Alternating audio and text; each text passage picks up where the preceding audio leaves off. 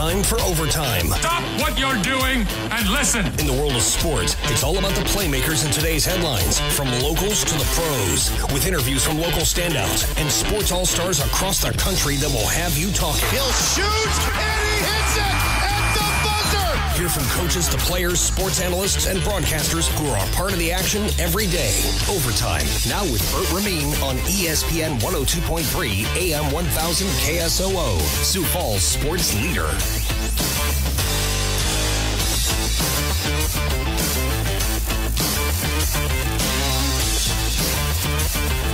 Welcome into the Monday edition of Overtime. What a weekend. We got the best weather. We had Cinco de Mayo. We had Star Wars Saturday, the Kentucky Derby, and the Minnesota Timberwolves are here to stay. My goodness, what a win in game number one. Game two on the way tonight. And the national media has taken notice of what we have long known. Anthony Edwards is a rising and continuing to rise star. And of course, you got Karl-Anthony Towns, Rudy Gobert. It's all coming together for the Timberwolves. And they are a still a small dog tonight on the road in Denver for game two. But if they beat Denver tonight. And I mean, if, I don't think it's likely just because Denver has to win this game. If they win and take a 2 0 series lead with both wins coming on the road, I think the sports world might rip in half as we gear it up for the Tuesday edition tomorrow. We got game two from Denver tonight, and so much to recap here with you as we crank up another work week here on Overtime. Thanks as always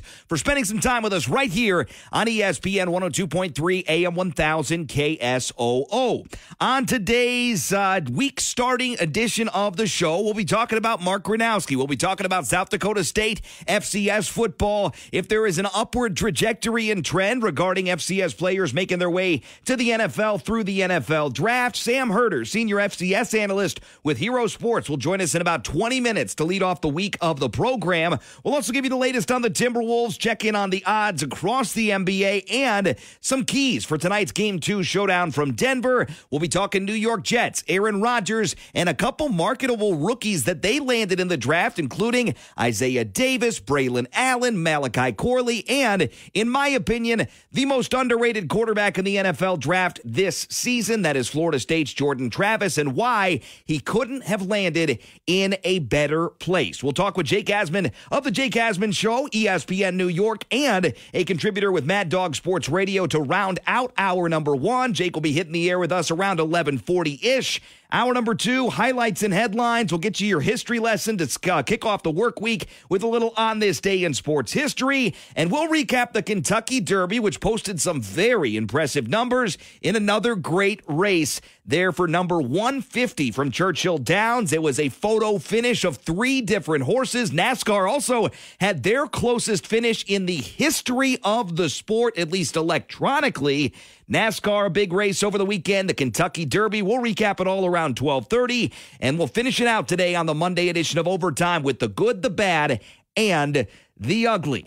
Now into your scorecard. First things first, as we get it going on this work week, on this May, or excuse me, May 6th edition of Overtime. Let's talk hockey first as a series came to a close and a series led off last night. First things first, Carolina and the Rangers tussled from New York, where New York off to a good start and a 1 0 series lead.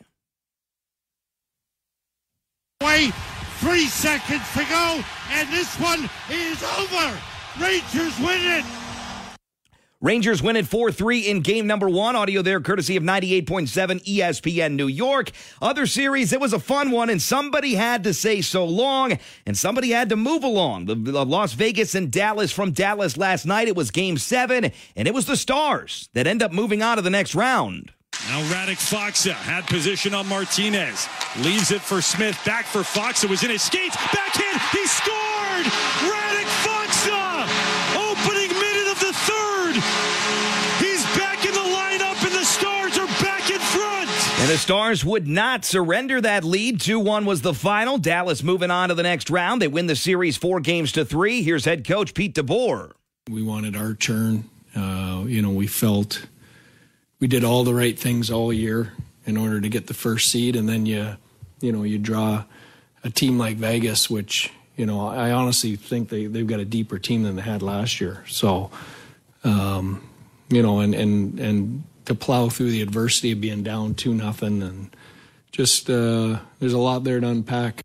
Certainly a lot to unpack moving forward in the NHL postseason. Tonight in the NHL, Bruins at Panthers game one from Florida, 7 o'clock on ESPN. That's the lone game going on tonight. Tomorrow, Hurricanes and Rangers do it again from New York for game two, 6 o'clock on ESPN. Also tomorrow night, Avalanche at Stars get going from Dallas with game one, 8.30 puck drop on ESPN. NBA Saturday night, Minnesota reigns supreme on the national stage. 106 to 99 win in game one in Denver. Anthony Edwards, 43 points. Jokic nearly a triple double, but not enough as Minnesota takes down Denver in game one. That final from Saturday night, 106 to 99. Yesterday, things came to a close for Cleveland and Orlando with game number seven. Magic impressed a lot of folks, including yours truly in the postseason start. They take it to seven games, but Cleveland wins the series 106 94, the final in game seven. Donovan Mitchell, 39 points and nine rebounds. And he says, hey, we can still be better than this moving forward. This was great because we were able to learn a lot of things about ourselves. You know, I'm never going to shy away from that, but, you know, we can be better.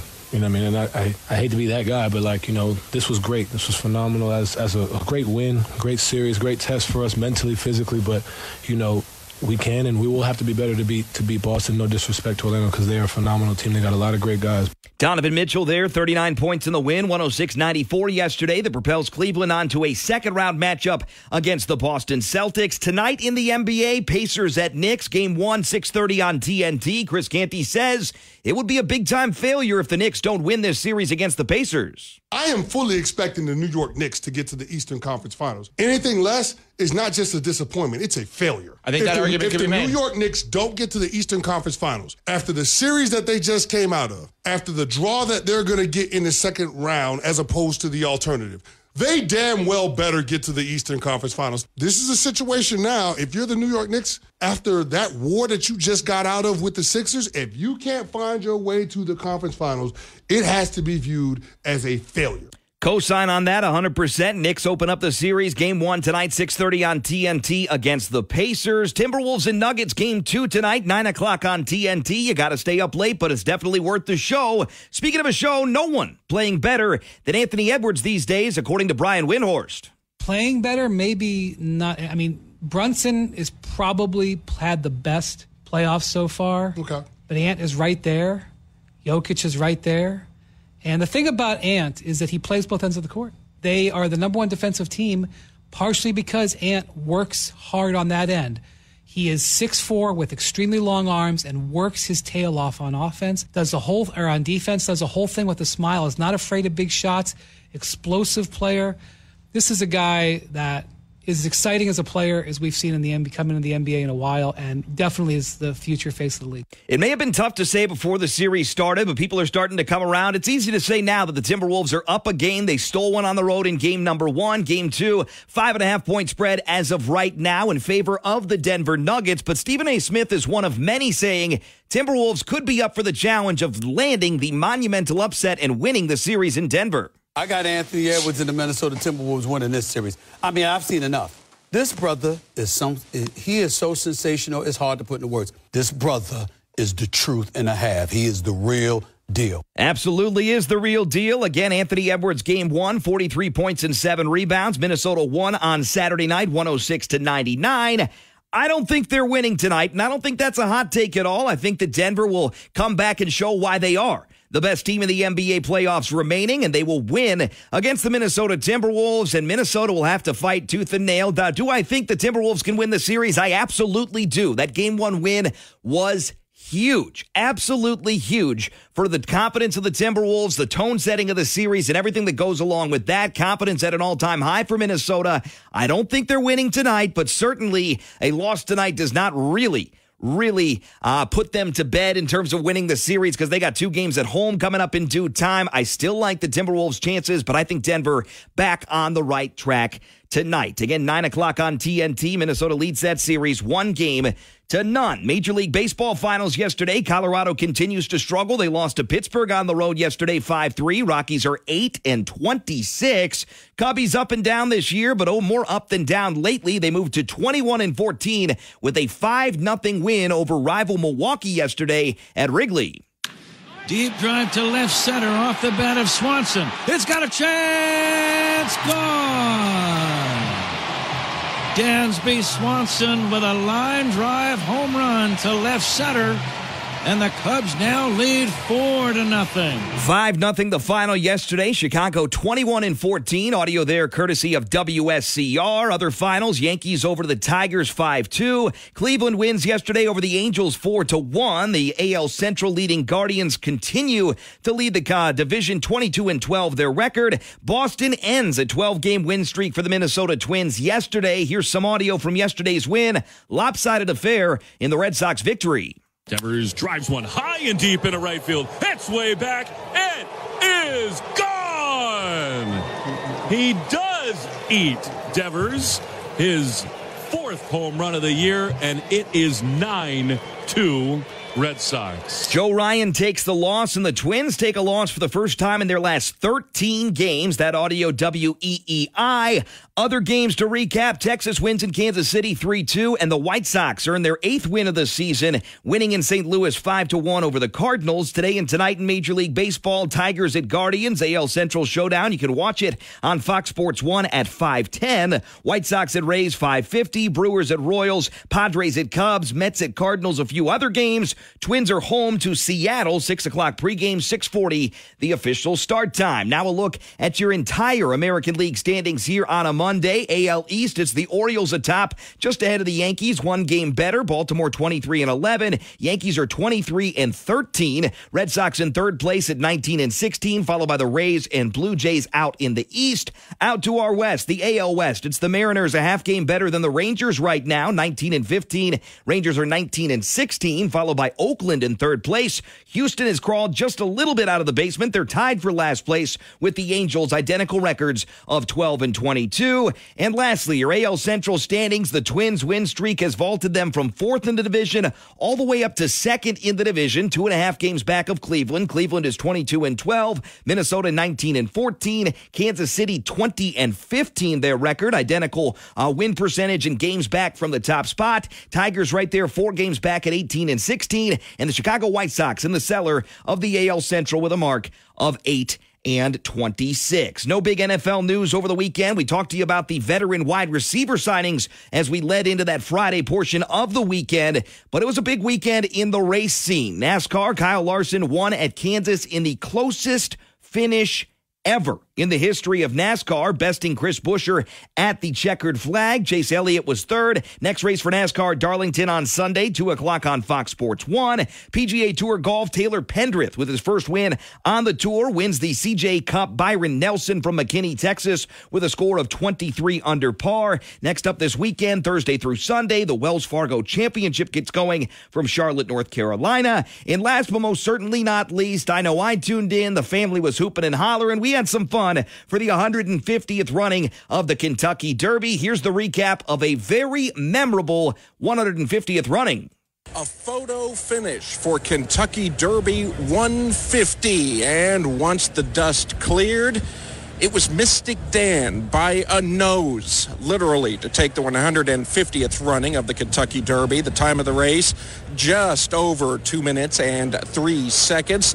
The trainer is Louisville-based Kenny McPeek. Well, it's been a lot, a lot of long days, and you know it's never been easy. Seems like um, you know even tomorrow morning we got we've got work to do, but um, yeah, it's pretty darn special. Over 150,000 fans packed into historic Churchill Downs to take in the milestone running of the Derby at the 150th running of the Kentucky Derby. Will Clark, ABC Sports. Mystic Dan, your winner, followed by Sierra Leone, Forever Young, Catching Freedom, and T.O. Password. Resilience, who was one of the favorites, finished in sixth overall in the top 10. Seventh was Stronghold. Eighth was Honor Marie. Endlessly was ninth. And Dornoch comes in at 10th at the 150th running of the Kentucky Derby. Now into your Reliabank headlines of the day here. Monday edition of Overtime. Fifth inning, two RBI home run followed up by a walk-off three-run bomb from Kennedy Buckman, secured the NSIC championship for the Augustana Viking softball team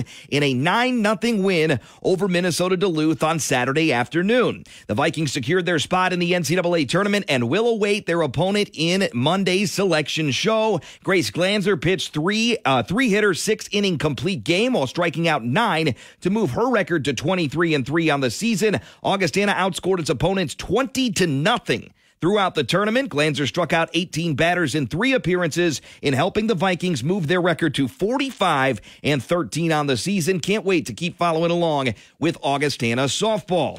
USF Cougar football head coach Jim Glogowski excited to announce the addition of a pair of transfers over the weekend. Kendis Ledbetter and Bo Giblin. Ledbetter's a defensive lineman, joins the coup program following a season at Concordia St. Paul. As for Giblin, he's a safety. He returns to Sioux Falls after spending his freshman season at South Dakota State as a member of the FCS National Championship program. Prior to South Dakota State, Giblin led the defense at Jefferson High School while helping lead the Cavaliers to a state title back in 2022. More on those pair of additions at USFCougars.com. Speaking of Augustana, the baseball team continues their romp through the remainder of the regular season. 12th rated Augustana baseball concluded their best regular season in program history with a 12 and 12 to 2 win in seven innings over Minot State on Saturday afternoon at Ronken Field. Vikings finished the regular season 41 and 8. They beat the 2018 team program record of 40 and 8 for a record in the regular season. They also end the year as the NSIC regular season champions with a 32 and 6 conference mark. And the Beavers conclude the season after the loss at 15 and 34, 12 and 27 in conference play. Up next for Augustana Viking baseball, they're now gearing up for the conference tournament. The NSIC tournament this year will be up in Bismarck. They'll take on NSIC 8th seed at noon on Wednesday in their first game from the NSIC tournament. Again, for more on softball, baseball for Augustana, you know the place to go. It's goaugie.com. South Dakota State, or South Dakota rather, men's basketball has announced another transfer addition, adding Chase Forte to the upcoming roster. Forte is a six foot four senior guard from Northwestern State. Forte spent last season at Northwestern State, where he made 29 starts over 32 games and averaged 10 points, four rebounds, three assists, and two steals per game as a junior for the Demons. Raleigh, North Carolina native spent two seasons at Gulf Coast State and one season at UNC Asheville prior to his time at Northwestern State. So it's going to be his fourth program in his college career. And again, the latest addition to USD Coyote men's basketball, Chase Forte of Northwestern State via a transfer. South Dakota State struggles against Northern Colorado on the baseball diamond continued yesterday with the Bears completing a three-game sweep of the Summit League baseball series by posting a 14 to 6 victory yesterday afternoon. In also finishing off a sweep of the season series, UNC improved to 12 32 and 1 and 11 12 and 1 in the Summit League. Jackrabbits dropped to 17 and 25 and fell down to 9 and 13 in conference play. UNC scored the final 10 runs of the contest after the Jackrabbits held a 6 to 4 lead through five and a half innings, but unfortunately, Jackrabbits on the wrong side there. Coming up next, the Jackrabbits continue their road trip with a matchup today at Air Force. Start time is set for 1 o'clock Mountain Time, 2 o'clock Central at Erdle Field on the Air Force Academy campus near Colorado Springs. South Dakota defeated North Dakota State's uh, 9 to 3 in the final game of the three game series in Vermillion over the weekend. The Yotes took the first strike of the morning when Autumn Iverson doubled to bring in Alexis Terrazas. Gabby Moser hit a double prior to that to send Alexia to third base and set up the score, giving the Yotes a 1 to nothing lead in the bottom of the second inning. Again, South Dakota took down North Dakota State 9 to 3. Final game of the three game series yesterday in Vermillion. Coming up next, the Summit League tournament begins on Wednesday of this week up in Brookings for as Summit League softball. They're going to test my wits on this name pronunciation, but South Dakota women's basketball coach Carrie Eighmey is pleased to announce the signing of Vicky Matula Vicious to a national letter of intent. A combo guard from the suburbs of Chicago in Willowbrook, Illinois. Matula Vicious was a two time MVP and four time All Girls Catholic Athletic Conference honoree for Montini Catholic High School. And another addition there, she joins Hannah Coons, Ava Cassette, and Gabby Wilkie in the incoming freshman class for USD Coyote women's basketball. Those are your Reliabank headlines of the day for hour number one. When we come back, let's talk about the state of FCS college football. Mark Gronowski is officially coming back to lead the Jackrabbit program again in a quest for a three-peat for South Dakota State Jackrabbit football. We'll talk about that. We'll talk about the state of the draftability of FCS college football players and much, much more. Sam Herder, senior FCS analyst with Hero Sports, joins us next on this Monday edition of Overtime.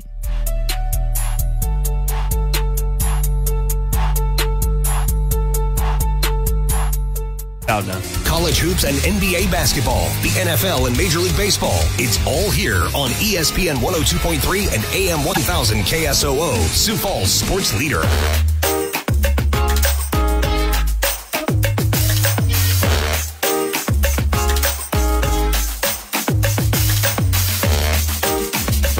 Running on the Monday edition of Overtime. Thanks for tuning us in as always right here on ESPN 102.3 AM 1000 KSOO.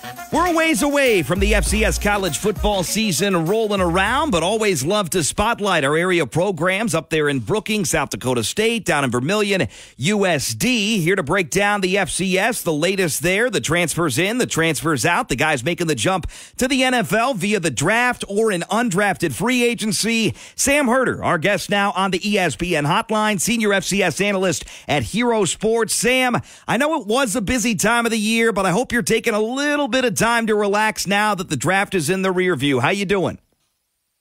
Hey, I'm doing good. Uh, always good to join you, talk some FCS, and yeah, it's it's May right now, so things are a little slow, but uh, you know, certainly preparing and prepping for some preseason material, which is always fun to start to look uh, ahead to the upcoming season. Hope abounds for all the programs out there across college football, whether it be the FBS level, the FCS level, D2, D3, and beyond. Uh, let's talk about the NFL draft because there were a lot of draftable and drafted guys from the FCS level. On the broad scope of things, as you kind of zoom out and just look at the overall numbers, how would you paint the picture for the FCS and making the transition to the National Football League? Are those numbers of guys nationally from the FCS ranks going to the NFL via the draft? Are those numbers growing? Are they staying pretty flat or are they going down? What do you think? The numbers are down a bit compared to the 2010s. Um, yeah, I think during the 2010s, the average number of draft picks per year from the FCS was like 16 or 17. Um, it's been down this year. It has been 12. Last year was 11. Uh, a couple of years ago was 24, and so the number kind of jumps around uh, all over the place. But the 12 draft picks this year is, is kind of, um, I, I guess it is down from the previous average from the previous decade. But I, I think you're seeing that in the NFL draft. A lot of these teams are spending their draft picks on Power Five players, um, knowing they can get Group of Five and FCS guys through undrafted free agent contracts. Uh, I think there was only 18 Group of Five players drafted, and so that's not much more than uh, than the 12 FCS draft picks, and then that leaves 200 plus from the Power Five leagues. And I, I just think there's so much depth of talents uh, at the Power Five level. I mean, there were first team All Big Ten and, and, and second team All SEC players getting drafted in the seventh round. Um, and those guys were standout players at their SEC schools, and they were dropping all the way to the seventh round. Uh, but on the bright side, there were 62 FCS players that got undrafted free agent deals. Um, you know, an, uh, another uh, close to 100 uh, players are getting uh, rookie minicamp invites. So um, there, there's still plenty of FCS guys getting opportunities in the NFL, uh, in the uh, to the NFL, just just not going the route of the NFL draft. Sam, I wanted to ask you though, as you dive into those numbers a little bit, of course, all that anybody really knows, especially on draft day, is they hear that great chime ding and it says Jared Verse, Florida State, right? Do the numbers that you're referencing kind of take into account where people started their college career? Because in the case of Verse, he was at Albany. Does the FCS program get credit in your numbers for that player being drafted, or is it just where they finished college? No, so there's there's like no official way technically to you know what what counts as an FCS draft pick or what doesn't. There's no you know official official method out there. But what I've done and what other uh, outlets that cover the FCS have done is um, if a player plays multiple years in the FCS and then they transfer and play their last year in the FBS and then they get drafted, we're going to count those players as draft picks from the FCS. So a, an example this year, um, offensive lineman uh, Nick Gargiulo, uh, he he played three or four years at Yale, and then he grad transferred to South Carolina uh, this last year and played one season in the FBS. He got drafted. You know, I, I think the FCS slash Yale deserves to kind of quote unquote count him as a draft pick from the FCS. But then there are are guys like the defensive player from U Albany. You played a couple of years in the FCS. Uh, then Verse, he played I think two years uh, at Florida State. Uh, a guy like that won't count uh, as an FCS draft pick. And so, um, if you play multiple years in the FBS, we're not going to count you. But if you play multiple years in the FCS and then play one year for your last year in the FBS, uh, we'll count you as a draft pick. Very interesting stuff. Again, just movers and shakers across the college football world in regards to the individual players, the teams, the programs, the conferences. Everything seems to be changing minute by minute uh, in college football. Talking with Sam Herder, senior FCS analyst at Hero Sports. Let's talk about the guys close to home. Uh, there were three total drafted Isaiah Davis, Mason McCormick uh, for South Dakota State, and then Myles Harden for USD. I was a big fan, just player matching up to uh, to landing spot with McCormick going to Pittsburgh. You know that gritty, uh, rough and tough, run the football, physicality. Was that your favorite landing spot among the three? With Harden going to Cleveland and Davis going uh, to the New York Jets, or did you have a, a more favorite landing spot for an FCS prospect? Yeah, the McCormick one, he definitely fits in at Pittsburgh, and so that's the one that that stands out the most. It's hard to to kind of tell with the other guy. Like I don't know the. I'll be honest. I don't really know the New York Jets a whole lot. You know, I don't. I, yep. I don't know what their roster is, so I don't know what their running back uh, situation is like. Same thing with the Browns and um, you know the the defensive backfield uh, for them. But you know, just knowing Mason McCormick and how he plays, kind of that gritty, gritty, tough attitude about him. That obviously fits the Pittsburgh Steelers uh, pretty well. So that, that's one that uh, definitely pops off the page. You know, I also think that Dylan Laube, he's a running back from New Hampshire. I mean, he's a guy, he's a running back, but he can catch it, he can return it. Uh, he lands at the Raiders. Uh, it'll be interesting to see if they, you know, view him as a guy that they can utilize in a lot of different ways, whether it's running the ball, you know, uh, passing the ball to him. Um, you know, he's electric in the kick return and punt return. and so you can get the ball uh, in his hands in a multitude of ways and he'll make plays. And so that, that is one guy that I'm interested to see how the Raiders utilize him. And it's very interesting. A lot of opportunities, whether you're drafted, undrafted, try out in between for FCS, NAIA, D3, D2 football across the board. Sam Herder, our guest here again, Monday edition of Overtime. I wanted to ask you about the transfer portal because when it comes to mind of FCS fans, it's a negative, but that's not always the case. And you had posted earlier today about some transfers into the FCS ranks from guys that transfer from FBS schools. So it works both ways. Obviously, you have the poaching concerns. We saw it with Tucker Kraft a few years ago. We saw it with Mark Gronowski this offseason, although he's coming back, which is huge news for that program and for FCS college football. But the transfer portal generally looks like a negative. But talk to us about the positive side and the guys that are opting to come down, if you will, to the FCS level from FBS, because it does work both ways, right? It does, yeah. There's you know usually a give and take to to these type of things. You can you know say the same thing about NIL. There's some negatives and some positives, and with the transfer portal, looking at it through an FCS lens, the portal is, is negative in the obvious ways, right? You know, it's easier for uh, it's easier for FCS standouts to go to the FBS compared to a few years ago. There's, there's really no restrictions um, anymore. You can you can jump up and play instead of having to, to sit out a year. Um, but still, you know, a vast majority of FCS all conference players still return uh, to their team, and so it's not like once a player, you know, becomes a standout at the FCS level, he's automatically going to go to the FBS.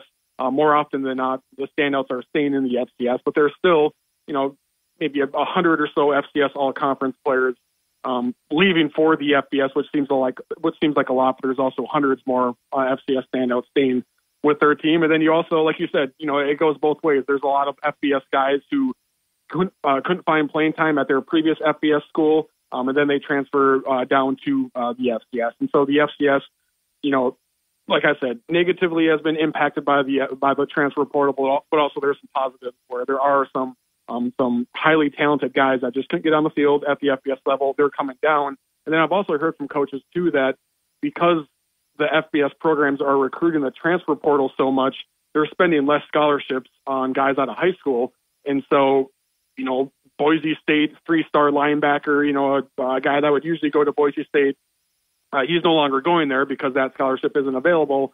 So all of a sudden, that three-star recruit out of Utah goes to Montana State instead of or, or Weber State instead of Boise State. And so um, that's that's another side of the positive of the, of the transfer portal is um, I've heard coaches say that the level of high school recruit that the FCS is getting uh, ha- has never been um, you know stronger than, than it is right now because the FBS is spending less scholarships on uh, on high school guys, and so there is a there is a, a positive there from a high school report, uh, recruiting perspective.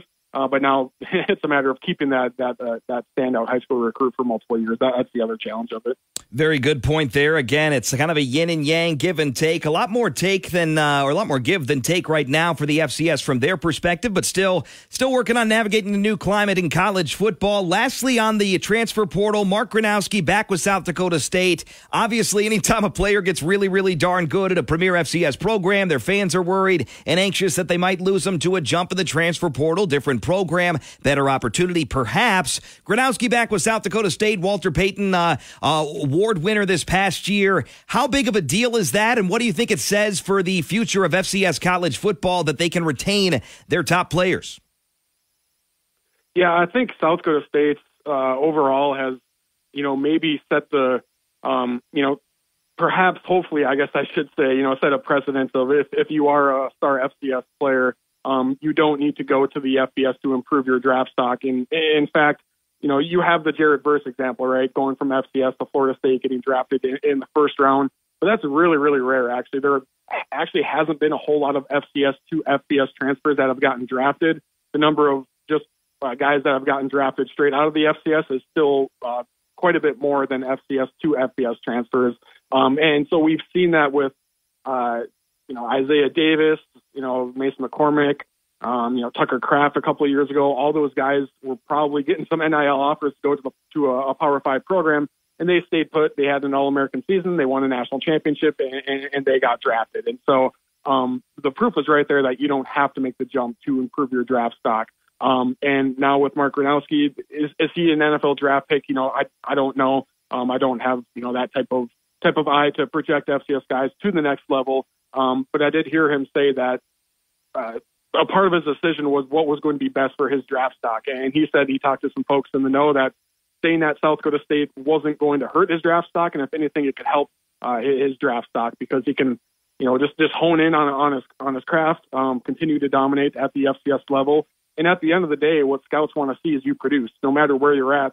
Um, they want to see you produce, and there's always a risk of being an FCS standout and going to the FBS level and becoming a role player and not playing a whole lot. And even though your talent is the same, if you're not, if, if you can't produce at your new FBS school, you know, it's going to, be, it's going to be a hard time to navigate your way to the NFL. And so, um, I think for a lot of these guys, staying at the FCS level, um, and dominating and, and, and just playing and producing, uh, you're better off doing that than going to the FBS and perhaps risking being you know, instead of an All American FCS running back, now you're the third running back at, at, at a Big Ten school. That, that's a risk that a lot of these guys are taking by transferring up. Definitely true. Sam Herder, senior FCS analyst at Hero Sports, our guest. Monday edition of Overtime. Sam, lastly, before I let you go, we're in the heart of the off season, so it's pretty hard to tell. But give me two programs from uh, coast to coast, the FCS level. I know we're spoiled here in South Dakota with USD and South Dakota State up the road, but talk to us about a couple programs nationwide that you've got your eye on heading into 2024 as a team that uh, is ready to make that jump. Yeah, I think the the big four are going to remain the big four: South Dakota State, North Dakota State, Montana, Montana State.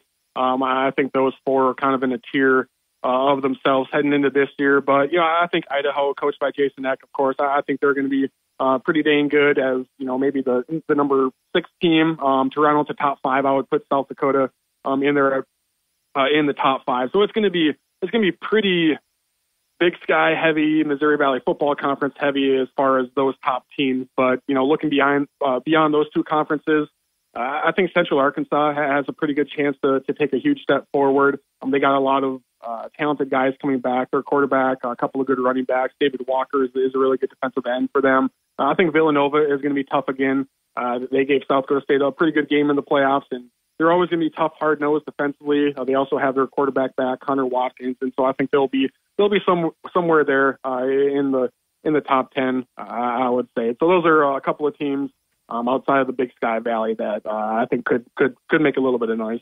We're a ways away, but already looking forward to the 2024 FCS college football season. We'll chat with you again here soon, sometime in the off season as we creep closer to kickoff. Sam, thanks so much for the time as always, my friend.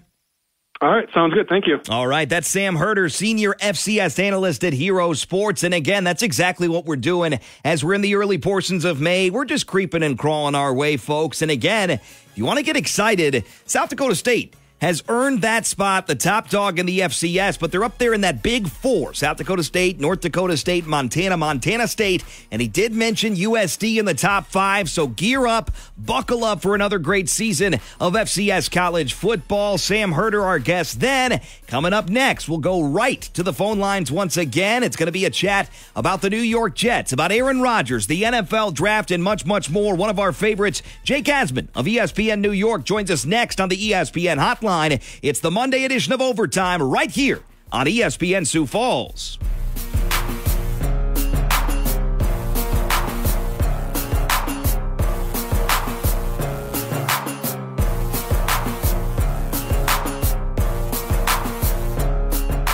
All States. The and coverage. We are ESPN 102.3 and AM 1000 KSOO, Sioux Falls sports leader.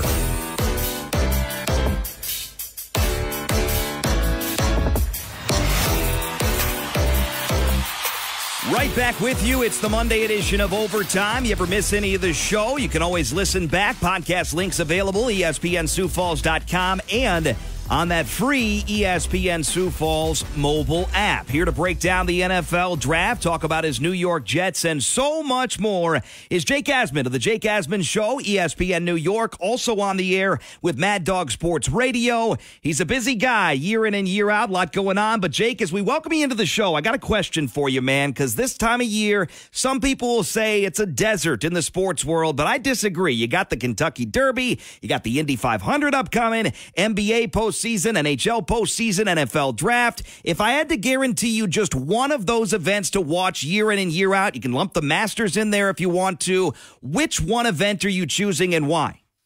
Man, that's a tough question because I'm a huge football fan, of course, so I do love the draft every year, but yep. I'm also a diehard Knicks fan, and the Knicks are in the second round in consecutive years for the first time in 25 years. So I'm not used to like, you know, the Knicks actually being in the mix two straight seasons. So I think I'd go NBA playoffs. I'll be at the Garden tonight for Game One of the Eastern Conference semifinals against the Pacers. So as a huge Knicks fan who's waited basically my entire life for this team to be relevant, I'm going to go with the NBA playoffs. It's a very exciting time, and a lot of people, Chris Canty, we played that clip earlier saying that it would be a colossal disappointment if the Knicks don't advance past the series against Indiana. A lot to look forward to there. Uh, let's talk hockey real quick, too, because I know the Islanders uh, and the Rangers both in the mix in the postseason, but where do you stand on that particular choice between those two franchises? Are you a hockey guy? I am a hockey guy. Unfortunately, I'm an Islander fan, though, gotcha. so I don't get to truly enjoy this uh, Rangers run that's going on right now. And they're, they're certainly in the mix, you know, to actually win their first Stanley Cup since Mark Messier and that 94 Rangers team. But it's kind of reminiscent of 94 in New York right now. You know, the Knicks are in the second round. The Rangers are in the second round. If you remember in 94, both teams went all the way to the finals, and O.J. Simpson was in the news then, too. And here we are 30 years later. He's in the news again, and the Knicks and Rangers are championship contenders. So it's, it's kind of full circle 30 years later in a way, which is crazy. Must be a sign. Lastly, on that topic of the New York sports scene, I got to ask you this question because fandom runs really deep, and I know you're a Jets guy, I know you're a Knicks guy, and you just mentioned you're an Islanders fan as well. How much does it take, or will it ever take? Uh, will you ever end up rooting for the other New York team, or maybe the team down in Brooklyn in the NBA? Will you ever root for them if your team is out and they're on a big stage? I couldn't do it personally. I know there's some who do. I just think if you're a fan, you have your team, and that's it. But that's also to your point. What makes this Knicks run so unique? Know, I've seen some people say, "Oh, why are Knicks fans celebrating? Why are they going so crazy after winning a first round series?" And I just don't think people realize the, the magnitude of the Knicks fan base in New York. If you think about it, New York has two baseball teams. The fan base is split. They got three hockey teams. The fan base is split. Two football teams. So the fan base is split. Yes, the Nets are a thing, but we're talking maybe five, ten percent of the tri-state area being Brooklyn Nets fans. So you're talking about the Knicks fan base that, that really reaches ninety percent of the entire area. It's like in Boston, everyone is a Celtics, Patriots, Red Sox, Bruins fan. Philly, they root for their team. Dallas, they root for their teams. Because New York is so big and you have two or three of every team, the Knicks are really the only team that can kind of unify the entire city. And since they've been bad for so long and they're finally relevant, that's why people are going crazy. So that's why you're seeing the the passion uh, for this Knicks fan base right now. But you know, for me personally, I couldn't root for any other New York team that isn't the teams I root for. Hey, I really appreciate that. I'm kind of a diehard as well. One team only in every single sport. Jake Asman of ESPN New York. Jake Asman Show on YouTube. Mad Dog Sports Radio is our guest here. Monday edition of Overtime. Takeaways from the NFL draft from a Jets perspective, my friend. I know it wasn't an exciting or sexy first round pick. A lot of people would have loved to seen another pass catcher there. Brock Bowers, maybe. You guys get the tackle uh, from Penn State in round one. Big takeaways from start to finish from a Jets perspective in the NFL draft the Jets, in my opinion, just operated like a smart franchise. I'm not going to sit here and tell you I've watched every rep of Olu Fashanu of Penn State and be like, yep, he's going to be a star tackle. But people you talk to, people who do it for a living, say he was thought to be maybe the best, just pure pass protector coming out. Maybe he could get a little better as a run blocker. That might be the one knock on him. But as far as pass protection goes, he's someone that right away could be a plug and play tackle for you. And I think what makes the Jets situation unique is he doesn't need to play right away. So he gets a chance to learn behind a future Hall of Fame player and Tyron Smith and a, a really good Iron Man type player and Morgan Moses at right tackle. He'll be the Jets swing tackle from day one. But you look at Tyron Smith's injury history, the last time he played a full season, Ryan Fitzpatrick was the Jet quarterback. So it's been a long time. So, you know, Tyron Smith last year was second team all pro. He played 13 games. Every Jet fan would sign for that right now. But the reality is he's missed so much time that bringing in a guy like Olu Fashanu, it, it helps your future because he's your long term answer at left tackle, but it also raises your floor because I think when you look at the Jets and you talk about things that could go wrong, the thing that really could derail their season, besides Aaron Rodgers getting hurt, is all the O line injuries from last year. And that also could lead to Aaron Rodgers getting hurt again. So just providing some real insurance there with Fashanu, to me, made a ton of sense. Premium position, which means he's on a, a rookie deal for the next five years. So when you got to pay a year from now, Sauce Gardner, Garrett Wilson, Breece Hall, Jermaine Johnson, Alijah Vera-Tucker, all these guys that are up for new deals, well, if you're not paying your left tackle a lot of money, that helps you keep those guys. So I think it was a smart pick for the immediate and the future as well. And then I really loved what they did day two of the draft. They traded up with some of the extra capital they gained in their trade down to move back just one spot with the Vikings, who wanted to get a quarterback. And they turned that into Malachi Corley, who they had on their board as a top 50 player. And he's someone that I think right away will come in and contribute in the slot in this offense. You know, he's nicknamed the Yak King for a reason. A lot of Jet fans maybe wanted Brock Bowers because of his prowess after the catch. Well, Malachi Corley essentially is Brock Bowers light. So I think Rodgers was pumped with that selection, and I think he's going to play a real role on this team. So I love what they did with their first two picks. And then day three, you know, you're just taking dart throws. You're trying to find some talent. They took a couple running backs. They took a guy in in Qwan'tez Stiggers who's got a lot of talent. He's very interesting backstory. You know, he was in the CFL was rookie of the year there, and now he's you know going to get a chance to play in an elite you know secondary room led by Sauce Gardner. So it was interesting what they did, and then you know I'd be remiss if I didn't mention you know they took a they took a dart throw on a day three quarterback in Jordan Travis from Florida State. So you know maybe one day he's the heir apparent to Rodgers, but if he ends up just being a backup that costs you very little money, that's a pretty good uh, asset you know asset management for a fifth round guy. So overall, it wasn't maybe the sexiest draft as you brought up, but I think they accomplished a lot, and it was a productive draft for the Jets. Jake, what was your favorite pick from the Jets' perspective? Because, of course, you go offensive lineman round one. That could be your favorite pick, but is it Corley that kind of moves the needle the most for you as a fan and as an analyst, or is it somebody else? Corley to me would be my favorite pick because I, the more I watch his film, the more I see like, wow, like I can tell why they really like this guy. I guess maybe his route running needs to be a little polished, but there's just space just to get the guy the ball and let him go. And that was such an issue for the Jets last year. Obviously, the quarterback play stunk, but outside of Garrett Wilson, there was no one in that receiver room you trusted with the ball in their hands. Allen Lazard was a major disappointment. He was a healthy scratch for three of their games by the end of the season. And you look at what they've done this offseason, they added Mike Williams. He could play outside and inside. He complements Garrett Wilson really well. And I think Corley is a guy who who will step in right away. He already is talking about living in Aaron Rodgers' guest house and developing chemistry with him. So I think every Jet fan's really excited to see what he can do. Plus, if your nickname is the Yak King or the Yak God, uh, you, you're going to excite a fan base. So that's my personal favorite pick they made. And a comp for me for Corley that I watched a little bit on film, and a guy that I loved when he was with the Packers was with Rodgers. James Jones was that dude that wasn't fast, wasn't big, wasn't a great route runner, but when he had the ball in his hands, he would move it roughly like a 5 5 40 pace just through the defense, weaving and bobbing through. James Jones could be a good comp moving forward for Malachi Corley in New York. Jake Asman, our guest here. The AFC, as it sits right now, there's still a whale of an offseason remaining, including a lot of free agents out there, but Chiefs and Ravens probably the top two teams who else do you put in that conversation, and how far back are the Jets as we sit here today?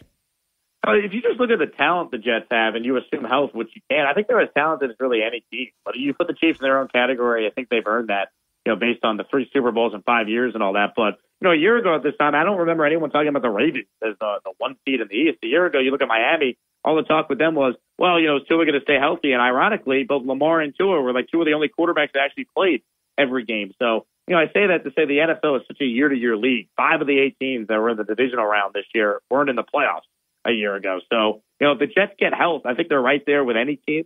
I still think you got to respect Cincinnati if Burrow's healthy. I still think when you look around at, you know, the, the, the upper echelon teams, as long as Josh Allen is the Bills quarterback, even without Stefon Diggs, they gonna, they're going to be in the mix. But I, I really do think when you look at the top of the AFC, find me a team that has as much talent, at least on paper, than the Jets do. The key is going to be Aaron Rodgers being healthy and still proving, you know, he's a top 10 quarterback in the league. But you tell me he plays, let's say, 15 of 17 games, and Tyrod Taylor's there playing the other two. There's no reason why the Jets can't compete in the AFC East for sure. Interesting stuff. The New York Jets, the Cincinnati Bengals, a pair of teams that didn't make the playoffs last year that are definitely likely to do so this year. Last question before we let you go, Jake. Always appreciate the time and the insight. Here's your seven playoff teams from last year in the AFC Baltimore, Buffalo, Kansas City, Houston, Cleveland, Miami, and Pittsburgh.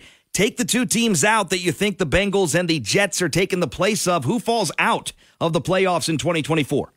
Man, it, you know, it, it would be easy for me just to say, ah, Pittsburgh. But man, it's like Mike Tomlin every year finds a way to get them in and keep them relevant. So it's tough for me to say that. I mean, I, I'm really not as high. Maybe I'll be called a hater because I have a Jet fan, but I'm not as high on the Dolphins as maybe some are. You Yeah. know, I think they were fraudulent at times last year. I think we saw, you know, down the stretch who they really were. I mean, Tua's never won a game in his career when the temperature is below 45 degrees. They had a, a one and five record against teams with a, a winning record a season ago. So I'm just not sold on the Dolphins like maybe some are. I know Tua was healthy last year, but could we see him be healthy again for another full year? I don't know if that's fair to say, but every time I talk about the Jets, people are like, oh, Aaron's going to get hurt. And it's like, well, he never, he never really had an injury history until a fluke accident last year on the fourth play of the season. So I, I, I just don't think Miami is nearly as good as some people think. I think they got some major O line questions. They lost Robert Hunt in free agency to the Panthers. Christian Wilkins signed elsewhere with the Raiders. So, you know, they, they were up against the cap. They couldn't keep everyone. And,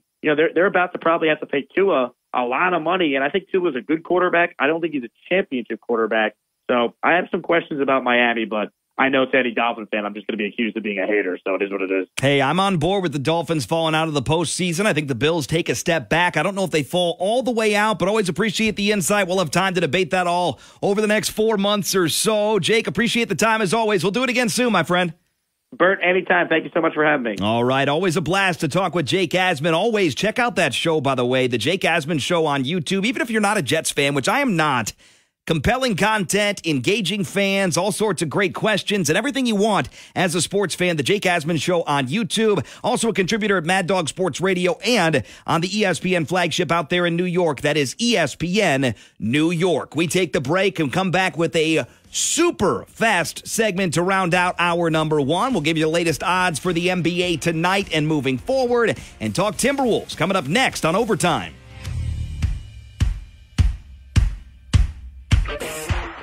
Streaming live online and with the app, this is Overtime with Bert Remien on ESPN 102.3 and AM 1000 KSOO, Sioux Falls sports leader.